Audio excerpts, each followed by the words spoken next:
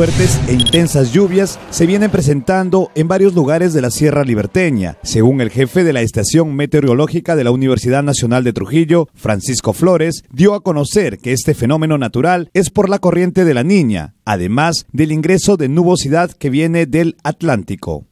Lo que está sucediendo, eh, está ingresando bastante nubosidad del Atlántico, eh, el anticiclón del Atlántico Sur se llama, está actuando y entonces está ingresando esa nubosidad, trae lluvias, lluvias que se producen en la Amazonía, dado también por la acción del calentamiento del sol. Eh, hay mucha eh, eh, este, evaporación de altura y eso llega hasta la cordillera de los Andes. Ahí produce lluvias de todo tipo, intensas, medias y bajas, ¿no? La costa también se verá afectada con este fenómeno natural de la corriente de la niña. Se presentarán cambios climatológicos bruscos entre calor y frío que provocará algunas enfermedades en niños y ancianos, quienes son los más vulnerables.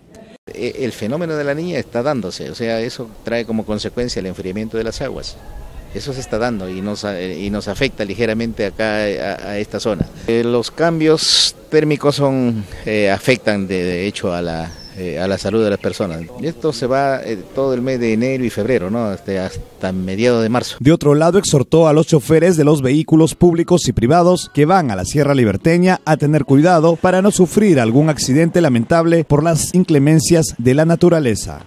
Se presentan neblinas, eh, ahí también están presentes las garúas muy intensas y eso hace pues que los caminos, la, la, pista, autopista que tenemos de, de la sierra esté eh, con, con, agua y peligroso para el tráfico, ¿no? de modo que los vehículos tienen que mm, transitar con velocidades bajas. ¿no?